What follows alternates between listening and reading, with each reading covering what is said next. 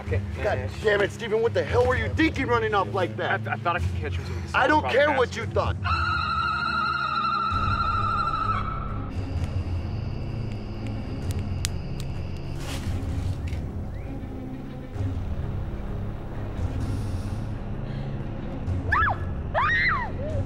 Are you okay? We really need to come back up here and get it. It's over. Uh-huh. Yeah. Remember that time I saved from that blind date from that blind chick? huh? You want me to thank you for that?